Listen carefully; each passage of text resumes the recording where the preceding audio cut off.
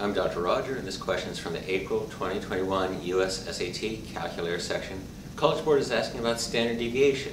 And standard deviation is a measure of how spread out the numbers are in a data set. The more spread out, the larger the standard deviation. And unlike range, which is just the difference from the largest to smallest, standard deviation takes into account how spread out all the points are.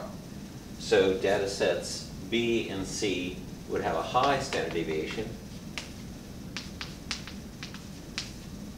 Data set A would have a lower standard deviation than those, perhaps medium.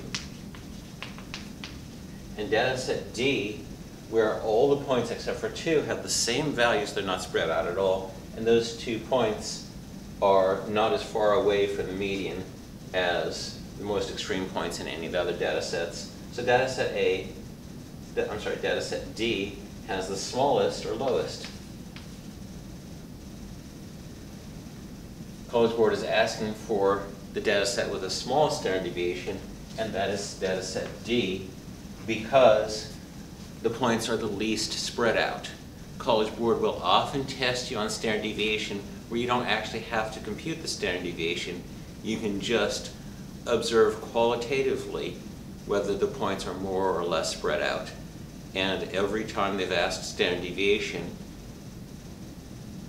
you can use estimation rather than computing standard deviation. If you have a graphing calculator, it will also find standard deviation for you, but that is not a good use of your time on a timed test. Come back soon for my next video. With math, there's always more.